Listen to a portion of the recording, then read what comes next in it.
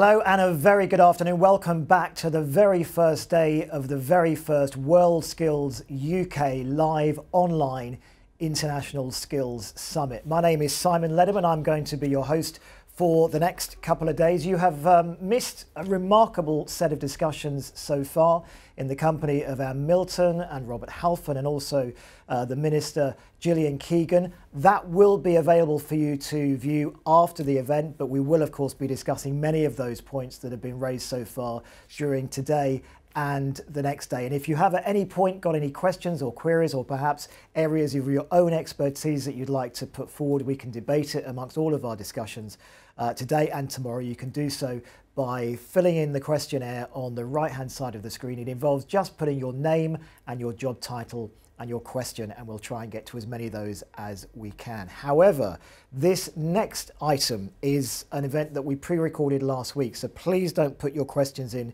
for this event because the questions we had are the ones that we asked. Uh, this is session three, supporting young people and the economy through world-class apprenticeships.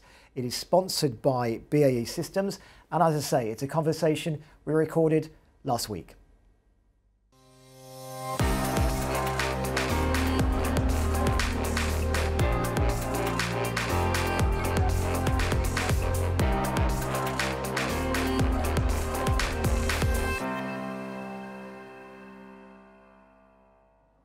Welcome back to the World Skills UK live online international skills summit. Now, this session is called Supporting Young People and the Economy through World Class Apprenticeships. And I'm delighted to say that on our panel uh, for this session are Liz Pollard. Liz Pollard is Managing Director of Shared Services UK for BAE Systems, and indeed, BAE have sponsored this session. We have Angela Joyce, who's CEO of Warwickshire College Group, and also Colin Hagan, who's Managing Director of River Park Training and Development and joins us from Belfast in Northern Ireland. Now, before we meet the panel in depth and also hear some of their views about um, the way forward in this remarkable time we're living in, we just want to show you a short film. Now, this is a film of BAE apprentices and um, you'll hear them and some of the team at BAE talk about why they are involved in World Skills UK competitions.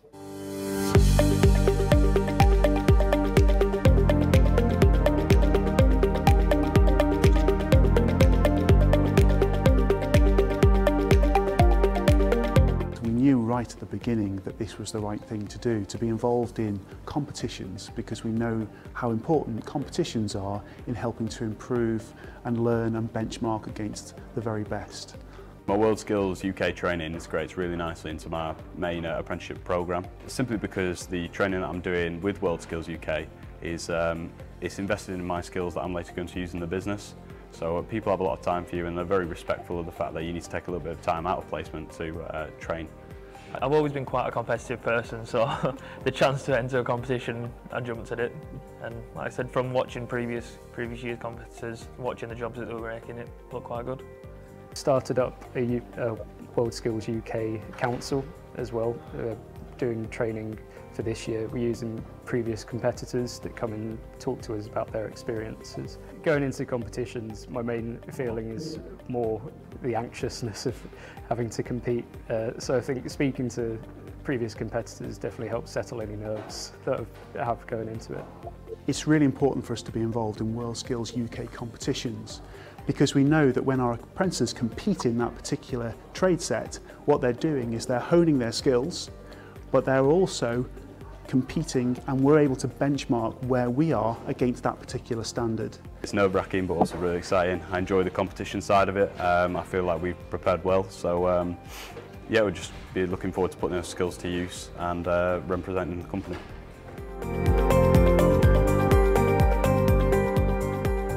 We're going to hear more from BAE Systems about how their apprenticeship model works, and we're also going to discuss about so many other areas surrounding this session. But before we do, um, and just in a way to warm up the panel, and so that they can, uh, you can get an idea at home of uh, of where they stand in the world we are currently living in. Um, Liz Pollard, uh, Manager Director, Shared Services UK, BAE Systems. If I can just turn to you first and just ask you um, how you feel the world we are seeing is changing at a remarkably speedy rate. How do you feel about the future? It's been interesting, actually. It's been an interesting journey over the last few months. I'm sure all of us have felt that way in, in one way, shape, or form.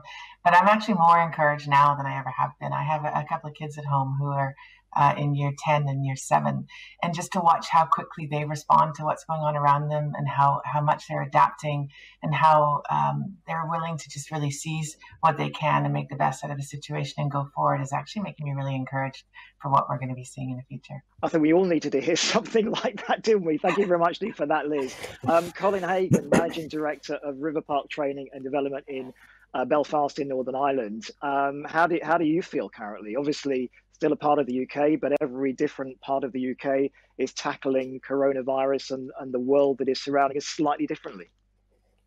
Uh, we've had to adapt, like many other people have had to adapt. And our, our biggest challenge was probably to go off online. Uh, we had nothing available uh, at the end of March uh, commercially uh, for what we do because we are predominantly motor vehicle in body repair and uh, refinishing. Uh, so it's a whole learning schedule about uh, using Google Classroom and every other interactive means that we could do to uh, to keep our guys focused and uh, maintain their, their skills levels. So, Angela, if I if I can put that question to you, things are changing at a really speedy rate in the UK and indeed around the world. How are you feeling about the way forward? I think it's uh, certain that we can say the future is going to be different from the past, but I think we can say that at any time. Um, but I think, you know, uh, we enjoy change in the college sector. We've lived through change all the time. Um, it, the pace of things are changing more, uh, I think, you know, faster than ever before. Uh, but we're ready. We're ready for a future that's different from the past. Well, it's good to hear something about how you are perceiving um, the world around us generally. And of course, we will uh, take some questions at, at, the end, which we already have. As, as you know, this is a pre-recorded session, so please don't send them for this particular part of the uh, the two day event. Um, so, Liz, if I if I can return to you, we, we saw um, a film there of BAE apprentices, and it's it's clear that they take it seriously. It's also clear that BAE Systems take it seriously too. How, how does your apprenticeship model work? I think apprentices is something that's near and dear to the heart of every BAE Systems employee, and it's really been uh, interesting to see how um, when, when we when we entered into the beginning of the COVID um, pandemic and the changes that were required, it was really interesting to see how uh, it was absolutely of paramount importance to all of all of us in the management world within BAE Systems that we didn't miss a beat with the apprenticeship programs and we didn't have our apprentices that were uh, put in situations where they were going to be um, inadvertently suffering because of it. It just makes it realize it's part of the DNA of the company. So BAE Systems is a defense and aerospace and security company, and we do employ more than 34,000 people across the United Kingdom. And as you could see in the video, we develop and manufacture and maintain some of the world's most complex engineering products and services in land, air, sea, and in the cyber domains. And so the work demands high skill standards, which often reflects uh, international standards as well and we have to exceed our customers' expectations and continue adapting to constant technological change. Apprenticeships are essential to meeting our current and future skills need, and in particular, addressing the STEM skills, STEM skills shortage that we see in the UK, such as nuclear engineering, systems engineering, project management, for example. High quality teaching enables us to meet uh, industry and professional body standards and to confirm competence in the suitably qualified experienced personnel status that's increasingly important in the defense sector. Our apprenticeship pipeline is also crucial as we build a diverse and inclusive company, which in turn makes us more productive and competitive. And one of the many advantages of the apprentices apprenticeships is their flexibility to suit the learner. And we now offer over 50 different standards across the company. Over the last five years, there's been a clear growth in higher and degree apprenticeships, which now represent about a third of our annual intake. And as I mentioned, it's really core to the DNA of the organization. The requirement for apprenticeships is captured through a robust business planning process and ensures we match apprentice training output with the roles and skills that are required by the business. We validate the value of a program by measuring the return on the investment that we get from the apprenticeships. And each apprentice actually delivers a full return by the end of their first year in work after training despite the challenges I mentioned, the coronavirus uh, pandemic, we're still recruiting a record number of apprentices this year, which will take us to over 2,300 in active training. And apprentices represent around 7% of our UK workforce, and we have a very high completion rate of about 93%. We have a dedicated in-house training team and invested over 50 million pounds in new training academies. And we're really committed to partnering with education providers, including some long-term partnerships with various colleges. We're proud that our investment in skills is reflected in the results achieved, and our apprenticeship program is rated as outstanding by Ofsted. And around half of our degree apprentices graduate with first class degrees, which we're really, really very happy with. We aim to provide an enriching and supportive experience for our learners, and whether that's through skills competitions such as World Skills and the Apprenticeship Innovation Challenge, or Outward Bound or STEM Ambassador activities and, and everything else. So World Skills particularly world skills competitions really give our apprentices a chance to showcase their skills and strive to improve them, competing with and learning from really the best in the world. And we're proud of their accomplishment and the trainers who support them to these exceptional standards. And we do see a wider benefit when they bring their learning back into the business, which means we all we all win from it. At BAE Systems, behaviors are important, and participation in world skills competitions encourages and supports our apprentices to develop the right behaviors, which will support them through the competition and prove an excellent basis for the rest of their careers. With the new apprenticeship standards, our model has changed from traditional assessors to skills coaches who manage apprentice performance and development in a more agile and tailored manner while providing comprehensive pastoral support throughout the program. Each apprentice has a dedicated skills coach from day one they're uniquely placed to deliver a program of guided discovery covering behaviors, business skills, and applying academic knowledge. Alongside line managers, mentors, and peers, this gives our apprentices the very best start to their career. The pace of technolo- technological change is faster than ever, and the digital transformation of Industry 4.0 has informed our investment in new academies and additional training for apprentices. And one or two of the academies were, uh, were highlighted in the video we just watched. Apprentices are encouraged to experiment and explore the potential of these technologies in a safe environment with access to collaborative robotics, intelligent workstations, 3D printing technologies, and digital twinning. BAE Systems operates at a leading edge of technology, and it's vital that our apprentices learn, operate, and innovate in these environments. It provides us with a talent pipeline that we need, and it gives our apprentices the best start, as I mentioned earlier. In order to matching, in order to match the game-changing technological advances, we we've partnered with leaders in our sector, and we now design and deliver new industry standards. We've resulted in 20 new apprenticeship standards covering key knowledge, skills, behaviors, and is transferable across the broader sector, not just for BAE Systems alone. The apprenticeship standards were developed in partnership with small and medium enterprises, and we ensure that they do meet the needs of companies throughout the supply chain and across the UK. We really feel that the industry needs to benefit and will benefit from this from top to bottom across the entire supply chain. As I mentioned earlier, the COVID 19 pandemic has created new challenges across society, and we were able to respond quickly and creatively to ensure there was no break in our apprentices' learning. It's a process which must continue if we're to guarantee the best experience for our learners and we continue to learn, adapt, and leverage technology to remain resilient during uncertain times. Through our commitment to high standards of teaching and exceptional technical skills, we really are creating a workforce that's ready to meet tomorrow's challenges. Our future apprentices will have the digital and behavioral skills to respond with agility and innovation, ensuring the success of our company and of the UK PLC. World skills will remain an integral part of the development of our apprentices from a technical and behavioral perspective. We know our apprentices really value and enjoy the competition. It's definitely one of the highlights of their year and of our year. All right, many many thanks for that. I think um, you certainly covered a lot of ground, and we will probably return to some of that uh, during this session. And if you have just joined us, welcome. You're watching the World Skills UK live online international skills summit, and this event is about supporting young people and the economy through world class apprenticeships. Um, if we can move from BAE Systems to River Park Training and Development in Belfast in Northern Ireland, where we're joined by Colin Hagan. Colin, you're, you're managing director. Um, and I just wonder if, if we can start by just asking why you feel it's, it's, it's been worthwhile and important for you to have used World Skills UK competitions as part of the model for, for your apprenticeships. Uh, well, basically, we've looked at uh, World Skills. I've been involved in World Skills since 2005. And uh, a lot of our students we get coming uh, to us wouldn't be what we call academically uh, at the top of their game. And most of them would probably be in the middle of the class, and that's where they've been throughout their school year. Uh, we do an induction uh, at the beginning, and one of the things that we do is we show them uh, World Skills UK and World Skills International skills competitions, and uh, also parade our our past medalists, and then install that into them that they can actually achieve this. And I always say at every induction, those users sitting in front of me, that in two years' time, one of you will be coming up to me and asking me to to be a skills competitor, and they always do. So um, skills competitions is very very important to us.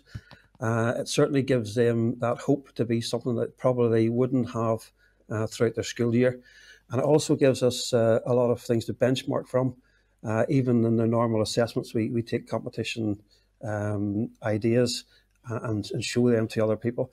And when all these young people come and sit down and actually realise that their skills are something that uh, they probably weren't really aware of, and uh, how they actually can excel in life, it, uh, it certainly makes a difference with them there. And I wonder if I can ask you, obviously, when when your your apprentices take part in competition, there's a number of stages in it. First of all, it's thinking they can actually do it and achieve it, and then to work out the standard at which they have to perform. I mean, are you able to see a direct change in the apprentices that work for you as they head through that analysis of, yes, I can actually start the competition. Actually, I'm doing quite well and seriously, I'm achieving here. How, how, does how do you spot the change in their personalities over that time? Uh, you can see that with their commitment um, and their buy-in, because uh, really they don't really actually really understand that they actually have these skills. And uh, whenever you give them a task to do, and you actually show them and pat them on the back or whatever way you want to congratulate them, and let them evaluate themselves, because evaluation of themselves is probably the most important. Uh, and then they can see themselves how they're actually starting to, to, progress and then thinking, you know, actually, I could go forward, I could do this, I could do this, and I could be something. And everybody's scared of failure. Um, but getting over that barrier and showing them that they, they actually nothing to be scared of and they actually have got that and uh, just installing that into them is, is the main part. Angela Joyce, CEO of uh, Warwickshire College Group, can I ask you about your own college's view of apprenticeships and, and, and why they're important, not just obviously for the courses and the work that you deliver, but also for employers in the UK? Thank you. Um, apprenticeships, we know, are good for young people, they're good for businesses. But of course, that relationship needs to work, and it's the college's job to be the glue between the apprentice and the employer, and of course, to provide the specialist expert off the job training. Um, at WCG, at our group of colleges, we build relationships with the employers. We listen, we run organisational needs analysis, training needs analysis. We understand and then we respond. We work with over 1,100 employers uh, directly and train around 2,500 apprentices each year. And many of our employers return to us each year uh, to recruit another apprentice or sometimes perhaps less frequently, particularly if it's a, an SME. But we invest in our understanding also of our local economy and our regional economy. And in doing so, we offer a really wide range of apprenticeships from level two uh, through to level six. Most of our apprentices in our colleges are at level three and above uh, because those are the job roles that match uh, the vacancies the employers are trying to fill. And so we're responding directly to the nature of the job role uh, that, that exists. Um, the apprenticeship standards and the endpoint assessments are working much better now. Uh, we're able now to advise employers very much about the off the job uh, element and the on the job training. And we recognise that employers are making a huge investment by recruiting an apprentice and it is our job to see that that investment works for both the apprentice and for the employer. There is an ever changing world. I mean, we spoke at the very beginning, we went through the panel and spoke at the beginning about how things are changing at such a, such a fast rate.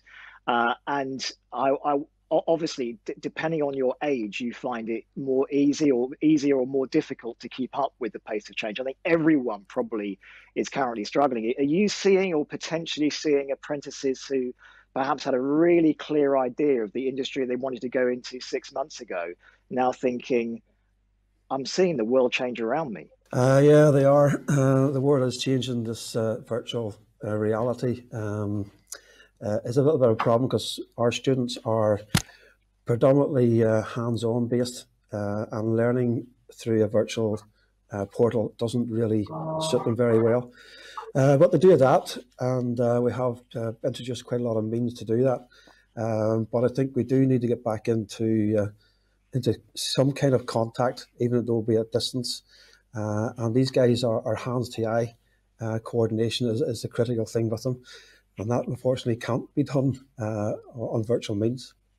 It was interesting hearing from uh, Liz a few moments ago from BAE Systems about how BAE themselves are adapting to COVID, and the, the, certainly there are in all of these things there are opportunities to change, and there are real disasters to to have to try and avoid. And I, I wonder for the apprentices that are going through the, um, the, the the River Park training and development in in Belfast, how how they are feeling because um, everyone has COVID that is going on in their world around. Uh, obviously, the UK also has Brexit. Northern Ireland has a very specific version of both of those things, being a devolved area that is treating uh, coronavirus in its own way and is also obviously having to tackle the question of um, carrying on trade and business between the mainland UK and also between Ireland itself. Um, how how do you feel the pandemic has changed or is changing not only the needs of your apprentices but also the needs of organisations and and and training um, uh, outlets like like yours? Uh, well, certainly Brexit was a problem to start with, and the pandemic isn't much better. Uh, and the two of them coming together has uh, really had an impact uh, on the island. Uh, the evolved nations, be it right or wrong, do their own thing. Uh, but that also raises issues of when you're locked down, when you're not in lockdown, what you can do, what you can't do. And we've had students uh, here locally uh, where we had localized lockdowns uh, and uh, we're phoning them to realise that why haven't you not attended today? And then they explain to me that sorry, we're our area is locked down by postcodes. So it just makes things difficult, but we, we just, just like everyone else, we just got to bear it and uh, just get through it. Angela Joyce, can I ask you about the current world that we're living in? Because one of the issues, I think, for many employers, and you hear this all the time whenever they've been interviewed, and you cannot help but feeling huge empathy for the plight that many of them are in, because it's not as if, in some cases, employers have reached a fork in the road. They've effectively been derailed. I mean, you, have you seen any of their thinking has changed, and is that impacting on what you have to provide for the future? Now we have uh, this pandemic in the background or indeed in the foreground? Yeah, yes, definitely. I mean, apprenticeship recruitment has undoubtedly been affected by this um, pandemic. Um, and we're seeing many employers, understandably, delaying taking on an apprentice. From our perspective, I think we see the impact varies in different sectors.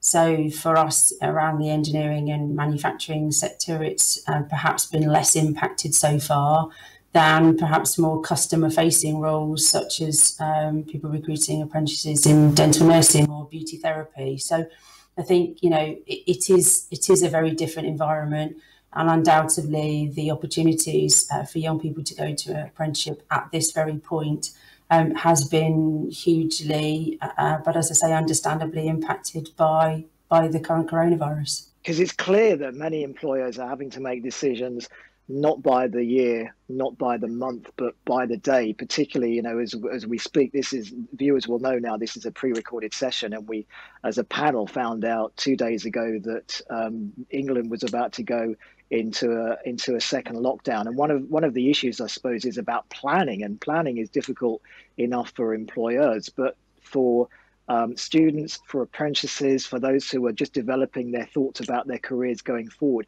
and indeed for, for, for colleges like you who are supplying that, um, fulfilling that need, that planning must be incredibly difficult for you. I can't lie, uh, you are correct. Um, in planning is very difficult.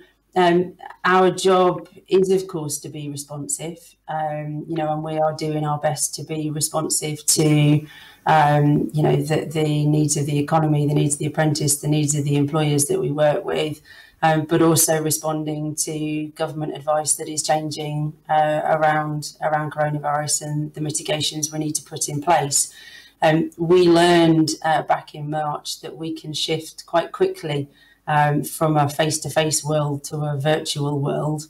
Um, and I'm delighted to say that you know in our colleges, um, you know, staff, students, apprentices have worked tremendously well together to make that transition from uh, from face to face to virtual very successfully.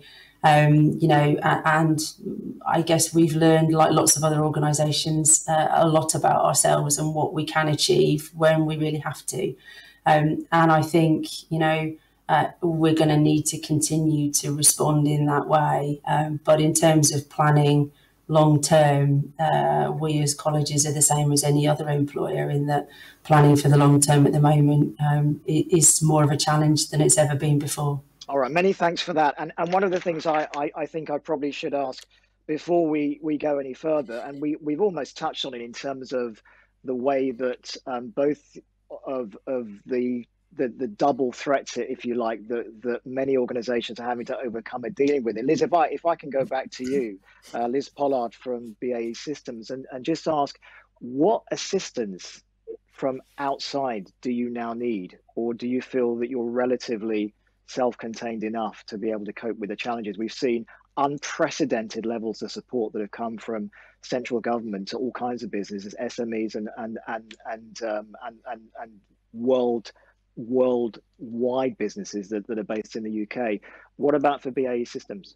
Uh, I mean, I, I, think it's safe to say that that um, we're not really new to this party, so we've been, you know, investing heavily in our apprenticeship programs for quite some time, and because of that, means we've built up some really good partnerships um, over a number of years. Um, and now, because those partnerships are strong, we are, you know, we're able to draw on those partnerships and also hopefully contribute back and uh, and therefore kind of keep things a bit seamless. Certainly, we are, um, you know, we are looking to take part in some of the various government. Um, schemes that are being renounced, for example, the Kickstart, pending bid approval, obviously, we'll be participating in the Kickstart scheme and we're going to offer six month placements up to 30 young people who complete the movement to work um, with us. You know, we're going to be trialing the engineering T levels as those come on online and things like that. So, I mean, there's definitely ways that um, that we are trying to actively ensure that we're current with everything that's out there. Um, but being such a large organization that we are, and as I mentioned, having so many of our senior managers BAE Systems come up through the apprenticeship route. Um, it, it, it's it's an easy it's an easy um, it's an easy sell, let's put it that way, within our organization to make sure that we don't take our eye off the ball where it comes to our apprenticeship programs. We have seen a number of weeks ago now Boris Johnson, the Prime Minister, talking about Build Back Better. We've heard the government, various ministers talking about skills, apprentices, uh, and apprenticeships indeed, and, and, and the way forward. Um, what is your vision? What is your view of, of the government's policy on um, not just obviously how it's dealing with coronavirus and, and COVID 19 in the wider UK, but specifically of how it's dealing with the needs and requirements of, uh, of industries and, and those arriving in industries in, in terms of their role as, as apprentices going forward? Are, are they on the mark? Are they on the right track, do you think? Apprenticeships are and should be um, part of the planning for the future of UK PLC. Um, we know that apprenticeships are a good investment. They're a good investment for the apprentice, for the employer, and for the government. Um, and I think government needs to maintain its focus on apprenticeships. Um, there are so many successful business people who I meet who started out as apprentices, um, but uh, I bet they don't have the cap and gown photograph above the mantelpiece of them receiving their apprenticeship award. Um, and we as a college group are striving very much to play our role in, in changing that um, so that apprenticeships are celebrated in the same way as somebody who's gone through a, a, the university system, uh, for instance. So I think the government is uh, is challenging uh, the status quo, um, but it's perhaps uh, a little bit overdue uh, in challenging the divide between academic and technical. Uh, simple fact is we need both. Uh, the government is finally, it seems, recognising um, that we do need both, and the government's attitude towards technical education is changing. Uh, the T levels and the new apprenticeships um, are indicators, I think, that we're going to see the divide between academic and technical education shifting. Um, and as I say, um, I'm delighted it's here, albeit I suspect it's a little bit overdue. Um, one is not better than the other. Uh, both are equal. We need uh, individuals uh, with both academic and technical skills. Um, and schools, colleges, universities all have their different parts to play um, in training the future workforce and, and supporting UK PLC. Colin, uh, if I can ask the same thing f- from you, Colin Hager, yep. Managing Director, River Park Training and uh, Development in Belfast in Northern Ireland. If if if um, central national government are watching this, or indeed local government in in Northern Ireland, or indeed um, even smaller sections of the the way that administrative systems are, are now working that could offer you assistance, what do you need? What what what are you asking for? Well, what we've found is that uh, it now takes a lot longer to do training. Uh, we have reduced class sizes down to six, obviously for safe distancing. Uh, our local government has uh, put in uh, grant schemes to help employers take on new uh, apprentices uh, and also to return apprentices from furlough and complete their qualification at whatever level it is, level two or level three. and they certainly are very financially viable. And a lot of employers we spoke to are very keen to proceed with them. Uh, the problem is we work with the, the accident repair industry uh, due to the lack of uh, traffic uh, being reduced on the roads. Uh, accident rates have actually dropped by about 70% uh, over the summer months. So that puts a restriction on the actual work available to these companies. that will probably pick up over the winter months and we do to return back to some kind of normality. Uh, but it's getting the students back in there and getting them back in and working uh, is, is the main thing. Time is a, the biggest thing we would ask for for our local government. We've uh, spoke with our local um, contract managers uh, and asked them to, to change how we actually do things and uh, join in with this blended learning approach, which uh, we've adapted to, and it seems to be working so far wish you all the best with that. The number of questions uh, have, have come in, and obviously in all these sessions, if you're watching this uh, at home or at your business or at your college, wherever indeed you're watching, you can by all means get in contact. This is a pre-recorded session, so the questions we're asking already we have. Um, and I wonder if I can start with this one from uh, this is from Richard Marsh, who's director of apprenticeships at Kaplan Finance, who, who asked this question: Why does the panel believe that skills competitions haven't been widely adopted as endpoint assessment methodology. Um, let me, if I can, start with uh, with uh, with Liz Pollard on that. Do you think there is a there is a query about amongst some about the value of competition?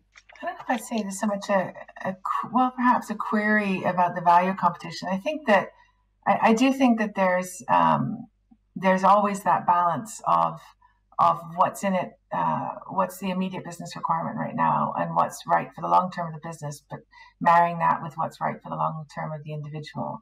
And I think um, I think it's really important that you know we all remember that competitions, skills competitions, are absolutely fundamentally critical to long term success uh, of the individual and of the organization.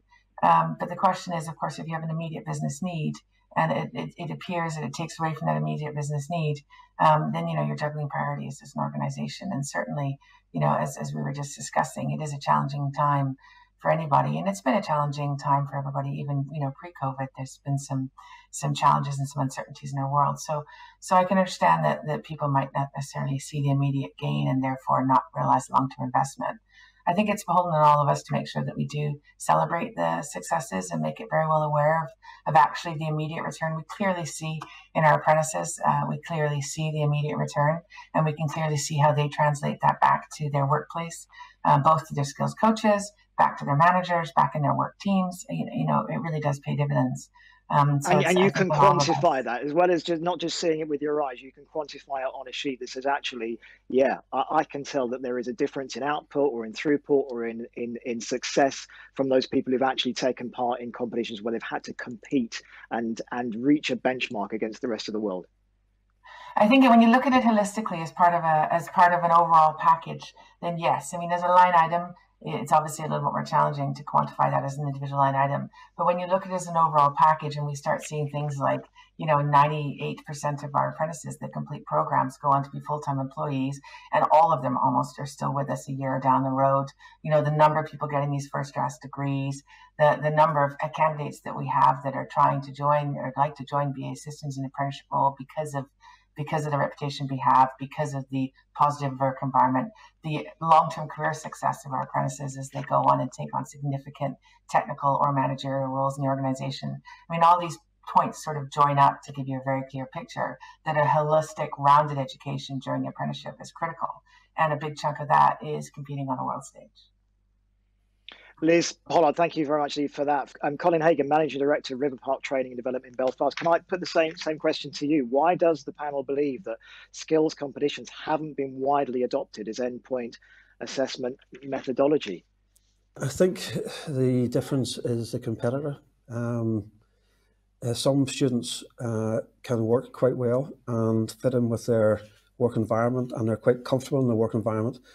Uh, but to use a competition as, a, as an endpoint assessment, uh, that's not really fair on those who actually don't want to be in competitions. Uh, competition is not for everybody. Uh, it's certainly, uh, we've had quite a lot of students who have been uh, very, very skilled and I've approached them and asked them would they want to enter a competition and one person in particular actually turned around and said to me he wouldn't do a competition because he didn't like being second. So in that rate, it's a competition is for the competitor uh, and not uh, not for everybody.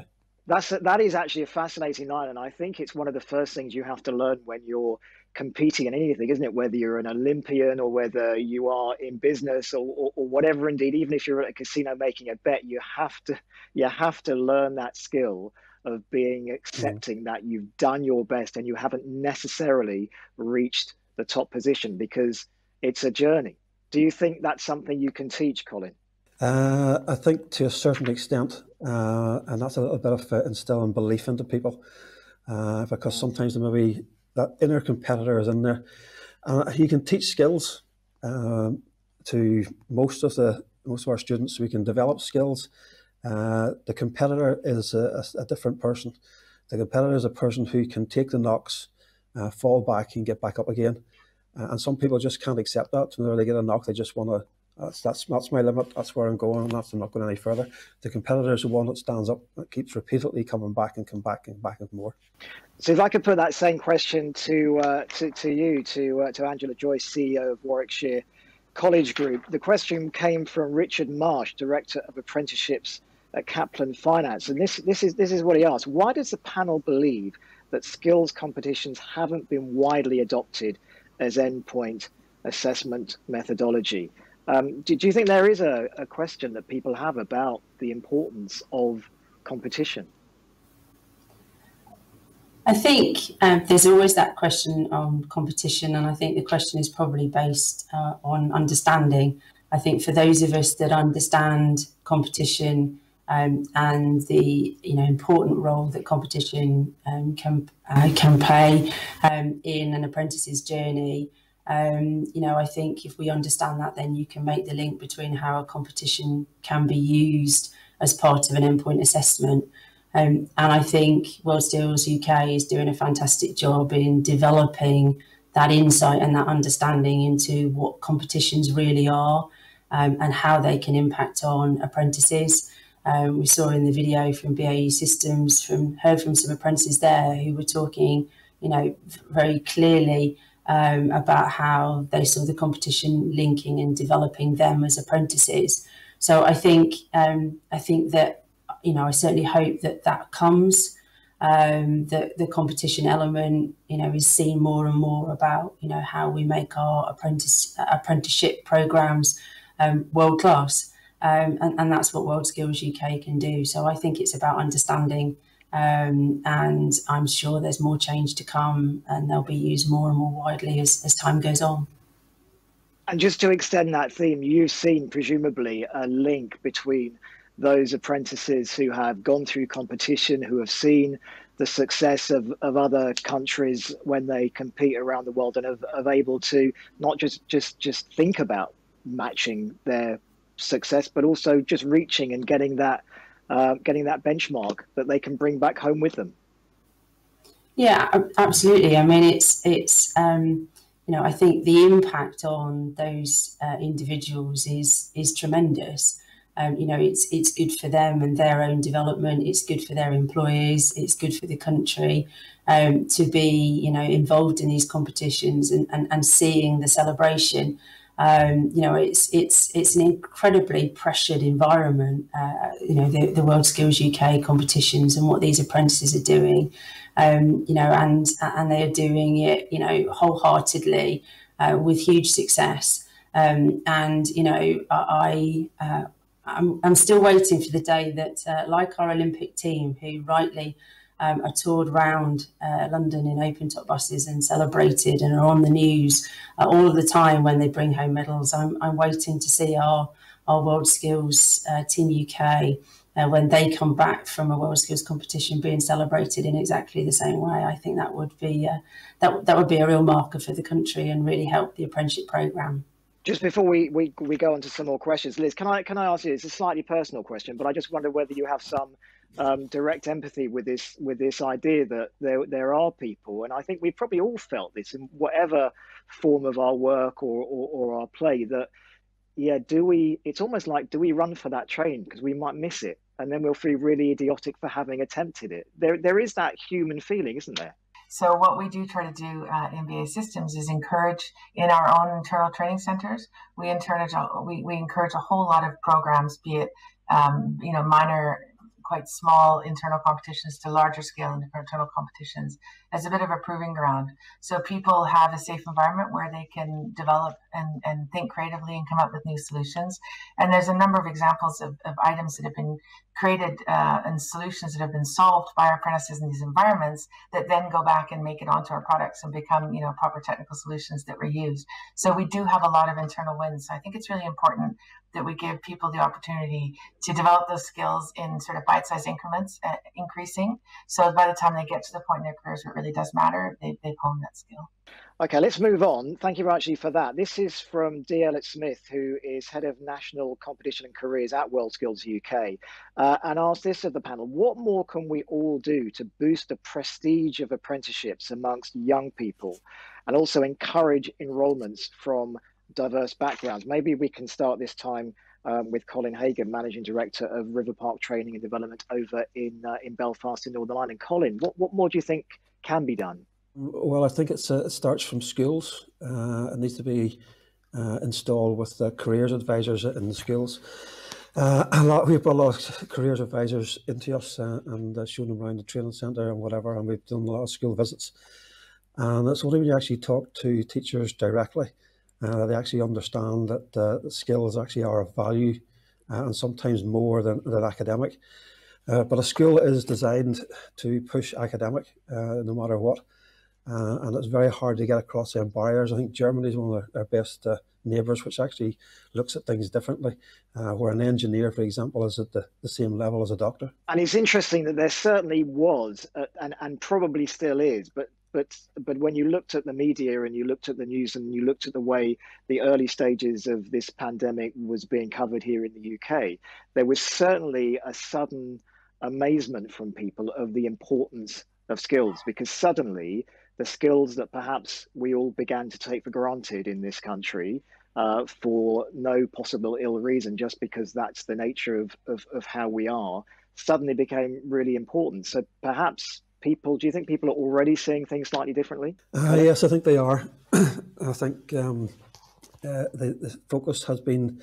Uh, we've looked at the, their health service, for example, uh, and we stood and watched crowds out in the street, uh, certainly giving them claps and applause, and uh, with our delivery drivers, and certainly the focus is now switched from that high academic person with a degree to the person who's actually delivering your parcel. So, if I could put that question to you, Angela, Angela Joyce is CEO of Warwickshire College Group. Um, and just a reminder of the question, D. Elliott Smith, who's head of national competition and careers at, uh, at World Skills UK, uh, asks what more can we all do to boost the prestige of, of apprenticeships among young people and encourage enrolments from diverse backgrounds? It's a good question, and I think uh, we all have a role to we all have a role to play. Um, I mentioned previously, you know, we're doing our part as an organisation to try to um, celebrate apprenticeships in the same way as, um, you know, as students, you know, going through uh, university may be.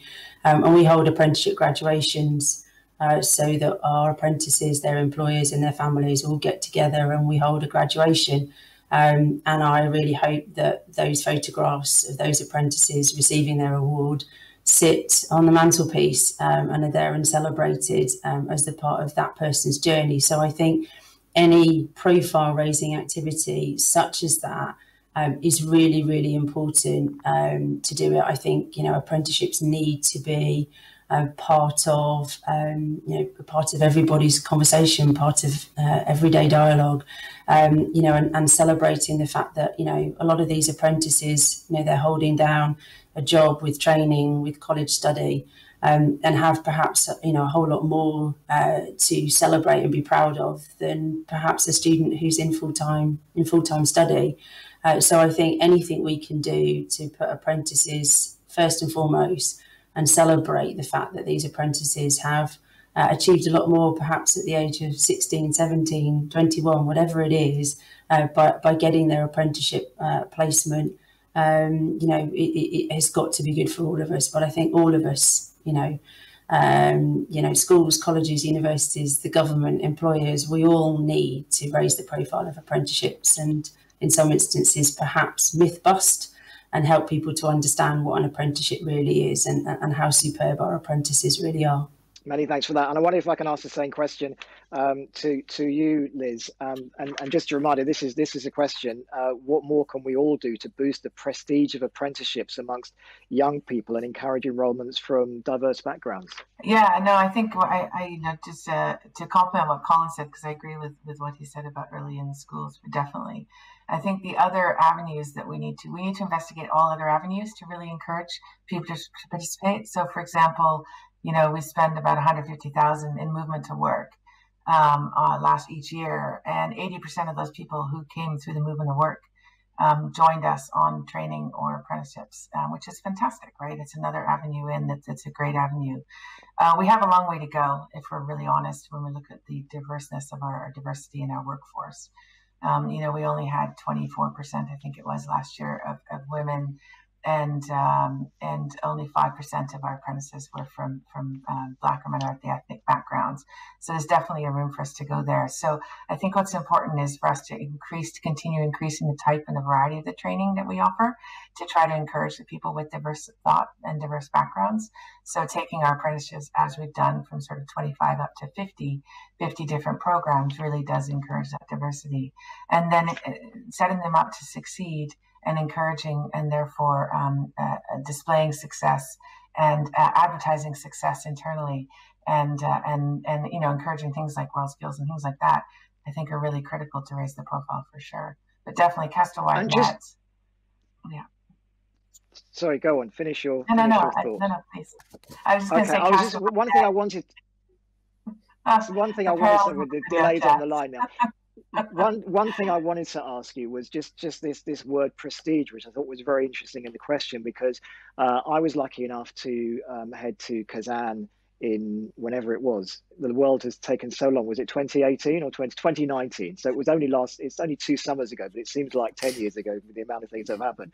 But what I was was was most surprised about is the the sheer extent of competition, the, the, the, sheer scale of worldwide competition. And I was doing my best to explain this to colleagues, to friends about what I was seeing and, and actually the difference that it makes. And, and there is a there is a skill about explaining the prestige of competition to people who understand GCSEs, they understand A levels, they understand degrees, they may even understand BTECs, but they might not understand the complexities and the prestige of, of, of, worldwide competition, you know, with 60, 70, 80 countries taking part, with it being taken very, very seriously by prime ministers, presidents, the, the, the, the top of the country. I just wondered what, what, what you thought of the, the, the simplest ways of explaining that prestige.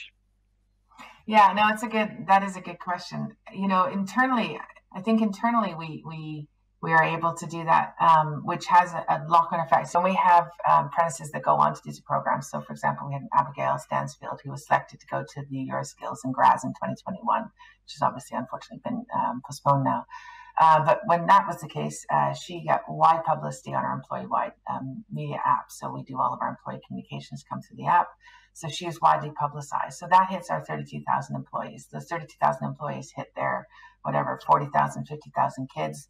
That becomes a word of mouth. You know, it's very much a, a, a hit them often, hit them hard, and make sure that it's well publicized internal. And then obviously when she come back, we would have had a you know follow up stories and all that.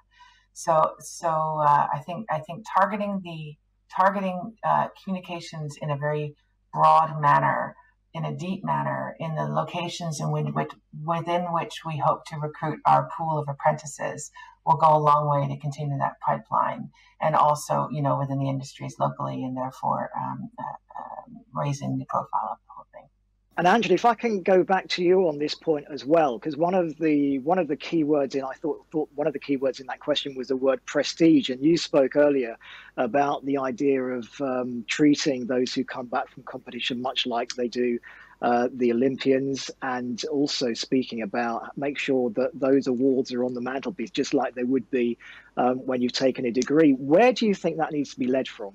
Is it because there'll be senior people in government watching this? There'll be those in in Her Majesty's opposition watching this.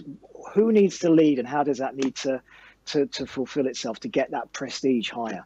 I think it, it does need political drive. It does need government support.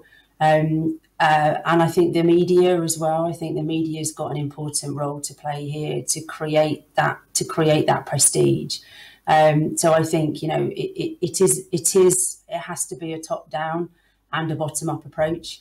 Um, you know, and I think uh, you know I think between that kind of top down and bottom up, you know, we can create the prestige. But but ultimately, yeah, I think you know I think it's about uh, making sure the word uh, apprenticeship, um, you know, is is is spoken about by the most senior government officials and ministers um, that that there are, and they and it becomes part of that kind of prestige.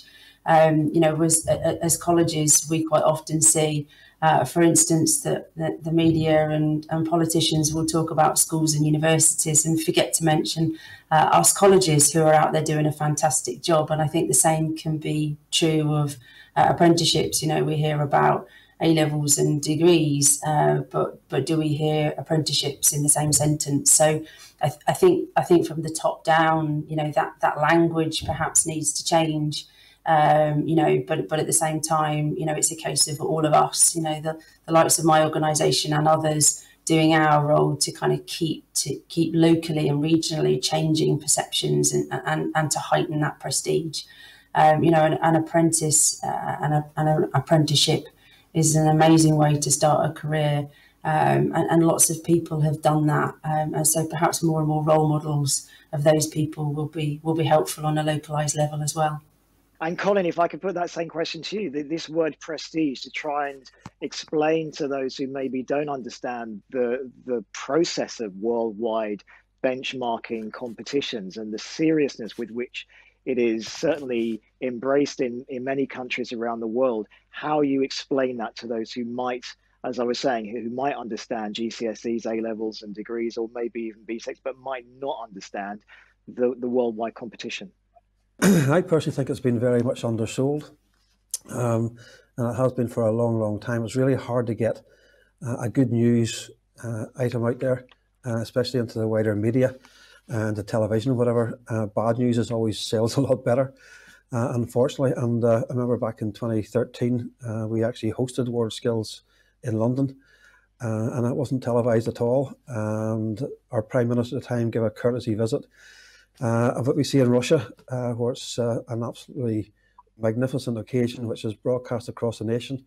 And I just think it's, uh, it's our media is, is the, the ones we need to, to grab and shake the leg by and say, look, you know, we need to be selling this a little bit uh, higher uh, to make it more appealing to a lot more people. Can I thank you all for joining us for, for this session? To Liz Pollard, Managing Director of Shared Services UK, uh, for BAE Systems, to Angela Joyce, who's CEO of Warwickshire College Group, and also to Colin Hagan, Managing Director of River Park Training and Development uh, in Belfast in Northern Ireland, supporting young people and the economy through world class apprenticeships, part of WorldSkills UK Live online International Skills Summit. Thank you to you all, and thank you for watching.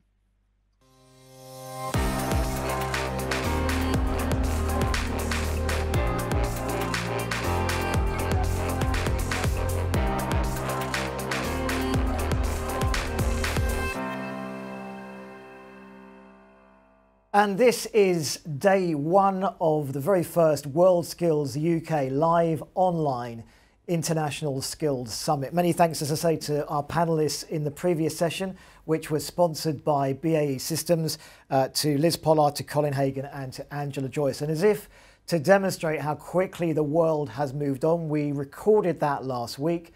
Since we recorded that, we have a new president elect in the United States and we have a possible vaccine which is going to possibly come on stream. There's a lot of possibilities when it comes to the vaccine in Christmas or the early part of the new year for some people. So the world, as we have always been saying throughout today, and no doubt we'll concentrate on it today and tomorrow, is moving at breakneck speed, whether we like it or not. Uh, now, coming up, we have our fourth session of the summit, our fourth session of today. Uh, it's developing digital skills to boost international investment. We spoke briefly about that to Gillian Keegan earlier on, when she was making her keynote speech earlier in the day. We're going to be joined by Josie Kluwer, who's partner People Advisory Services, Government and Public Sector, also by Philip Mueller, who's Education Manager at Autodesk, and Michael Maguire, who's a lecturer in Computer Aided Architectural Design and Technology at New College in Lanarkshire. And we'll also hear from Emma Roberts, who is Head of Research and Public Affairs at World Skills UK, who was about who was uh, influential in creating the report about which we're going to speak about soon. So we will see you in about five minutes. See you soon.